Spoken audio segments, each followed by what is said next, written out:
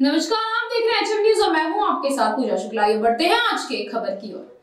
थाने शहर में एक तरफ़ जहाँ सर्दी, खांसी और बुखार का कहर बरस रहा है, वहीं दूसरी तरफ़ थाने नगर निगम द्वारा संचालित सभी अस्पतालों में दवाओं की भारी कमी है। विपक्ष के नेता अशरफ शानू पठान ने आज आपला दवाखाना में एक चिकित्सा अधिकारी के लापता होने का खुलासा किया है। अशरफ पठान और आकंपा युवा कांग्रेस के नगर अध्यक्ष विक्रम खामकर ने गुरुवार को थाने महानगर पालिका के विभिन्न स्वास्थ्य केंद्रों का दौरा कर व्यवस्थाओं का जायजा लिया और इस प्रकार का खुलासा हुआ है। थाने नगर निगम के स्वास्थ्य केंद्र पर दवा उपलब्ध नहीं होने की शिकायत लोगों ने की थी।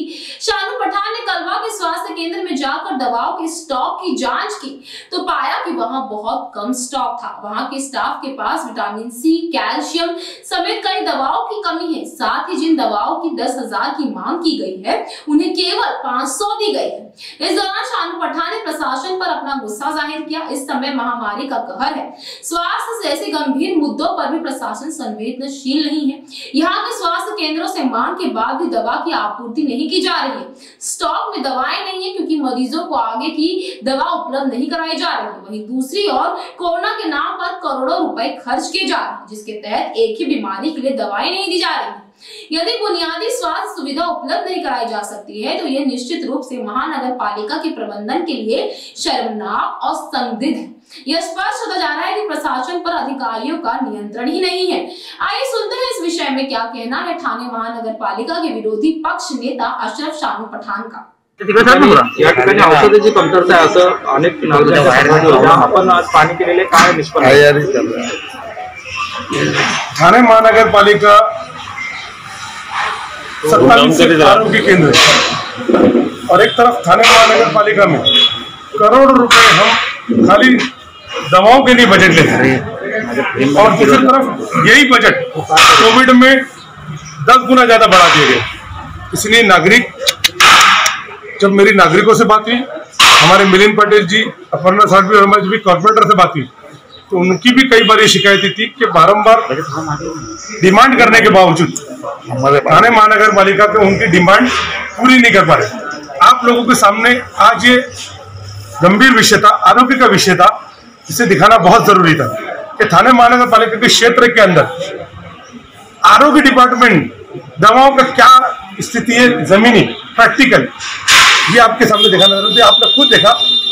सभी जगहों पे N I T not in stock ऐसा करके जितनी ज़्यादातर दवाएँ थी उसमें से ज़्यादातर दवाओं के बारे में नॉट इन स्टॉक करके महापालिका लिख दी थी तो मेरा उनसे एक प्रश्न है।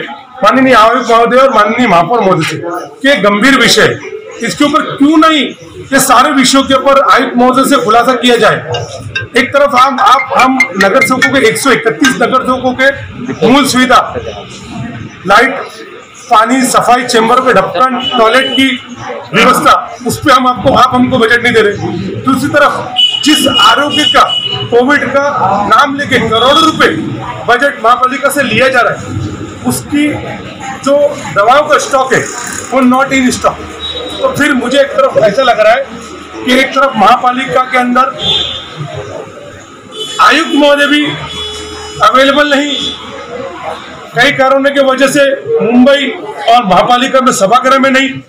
ऐसे प्रश्न को जो किया जाएगा तो महापौर साहब से उसका खुलासा मिलने की उम्मीद रहती है, लेकिन एक्चुअली में ये खुलासा प्रशासन को देना चाहिए। और इसी के लिए मैं हमेशा कहता हूँ कि कमिश्नर साहब का सभागृह के अंदर बहुत होना ज़रूरी है और नगर सेवकों के प्रश्न के, नागरिकों के प्रश्न का उत्तर देना ज़रूरी है। आज थाने महानगर पालिका के नागरिक शिवाजी हॉस्पिटल 27 में से 20 लगभग आरोग्य केंद्र।